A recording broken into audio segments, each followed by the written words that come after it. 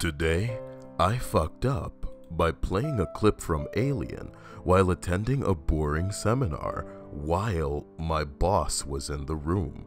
This just happened. I was sitting a full day seminar at work. It's a mandatory lecture on safety. We were just over an hour in and everybody is bored out of their minds. Deaf by PowerPoint.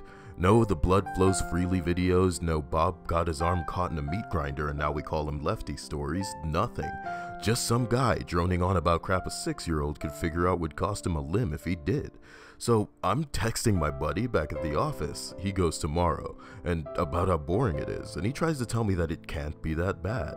So I decide to text back a clip from the movie Alien, when Ripley comes up to the guy that the alien has cocooned to eat later. You know, the guy who moans, Kill me. So I find the clip and go to link it in the text, and I fuck up, and it starts playing loudly. Loud enough for everyone in the room to hear it, including my boss. Cue about five seconds of dead silence in the room, followed by a chuckle followed by the entire room losing it, except the speaker and my boss. So, I've been sent back to my office. Boss is still at the seminar. I have no idea what comes next. My boss is pretty cool, but I gotta think something's coming out of this that I'm not gonna like. Edit. Didn't expect this to blow up like this.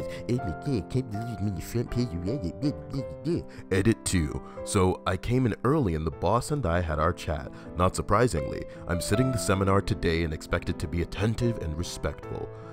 I'm also going to make an apology to the presenter for what happened yesterday. Of course, the entire office knows what happens, and oh my god, I get it. Okay? The story is trending to reach legendary status in the office. Oh, good for you. I am sure it's the most exciting thing to ever happen in your adult fucking life. The top comment reads, Haha, hope it's not too bad. Be sure to post an update. Smiley face, nigga. The second top comment reads, just say one of your friends played a joke on you and changed your message tone to that and you forgot your cell phone. It's too late for all of that, man. It's too late. You know, did you like this fuck up? Then like the video. Did you not like the fuck up? Then, uh, then click that thumbs up button to instantly notify me.